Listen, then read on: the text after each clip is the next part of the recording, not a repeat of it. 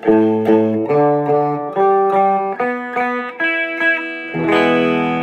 can tune a guitar, but you can't tune a fish.